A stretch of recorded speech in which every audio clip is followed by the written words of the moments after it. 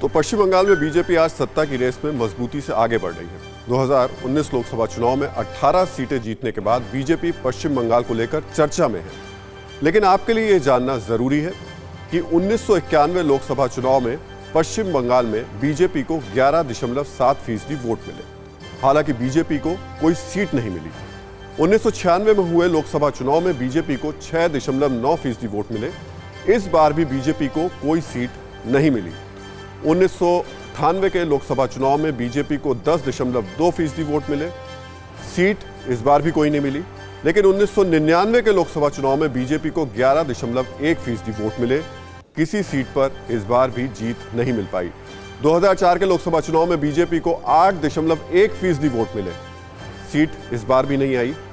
लेकिन 2009 के लोकसभा में बीजेपी को छह दशमलव एक फ़ीसदी वोट मिल गया। अब देखिए, वोट बढ़ रहे हैं, लेकिन सीट कहीं हाथ में नहीं आ रही थी। 2014 लोकसभा चुनाव में बीजेपी का वोट बढ़कर 17 फ़ीसदी हो गया।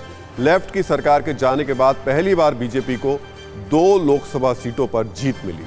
और 2019 में बीजेपी ने चालीस दशमलव फ़ीसदी वोटों के साथ 18 सीटों पर जीत दर्ज की। आंकड़े बताते हैं कि बीजेपी की पश्चिम बंगाल में मौजूदगी रही है। सूबे में अच्छे खासे वोटर बीजेपी के साथ रहे हैं। हालाँकि सीट के तौर पर बीजेपी को बड़ी कामयाबी 2019 में मिली। परवाह देश की। सोमवार से शुक्रवार रात 10 बजे टीवी 9 भारतवर्ष पर।